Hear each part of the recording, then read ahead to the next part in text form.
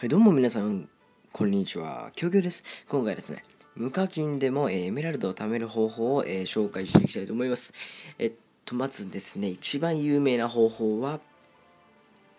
ここら辺に入る雑草ですね。雑草をやっぱりその撤去していくという木であったり、藪であったりね、そういうのを撤去していくことによって、エメラルドを1個につき、まあ、5個とか、まあ、運が良ければ5個っていうのを、まあ、やっていきます。そしてですね、次に、有名なのが、えトロフィー数1250今トロフィー数1724ですけれども、えトロフィー数1250にすることによってですね、えまあ、エメラルドが450個もらえます、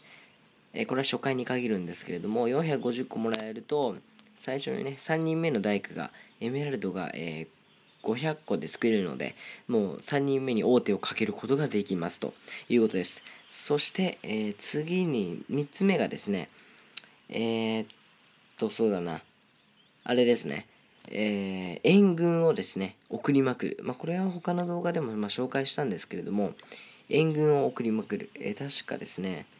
えー、っと、待ってください。えっと、こういう、え助っ人参上というですね、項目がありまして、星3つ目になると、えクランの城収容クランの白の容量を2万5000人分送るとですね、エメラルドが250個もらえます。えー、このですね、やつはま結構、まあ、2万5000人分って結構大変だなと思うんですけども、えー、まあジャイアントであったりね、そういう、まあでも、援軍でジャイアントとかいらないですけど、まあそういう、その、バルーンであったり、ウィザードであったりね、そういうドラゴンであったりのを送ることで結構楽に、えー、簡単に達成することができますと。助っ人参上でした。そして4つ目がですね、まあ、これは私もまだ達成していないんですけれども、えクリスタルリーグに加入というのがありまして、えー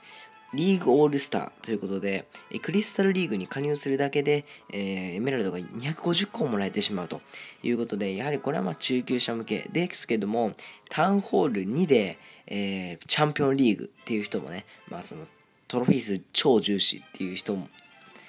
がいたんですけども、まあ、あのー、普通の Yahoo の画像検索とかでタウンホール2でチャンピオンリーグに行ってる人とか結構いるんで、やっぱまあ初心者さんでもやっぱ最初から本当に頑張れば1000まあ2000個。クリスタルリーグっていうのはトロフィー数2000なので2000にいけると思います。まあこれがね今回、紹介した4つがまあ結構有名なというか、まあ、達成しやすい比較的達成しやすいものかと思いますので、えー、まあ実際ですねタウンホール8ぐらいから本当課金しないと厳しいと思います。あの、まあ、本当ネットマネーでいいので、いいので、なので、まあ、今回はね、まあ、課金の、課金ではなくて、一応無課金で、まあ、最初の方やりたいという方向けの、え、動画でした。ご視聴ありがとうございました。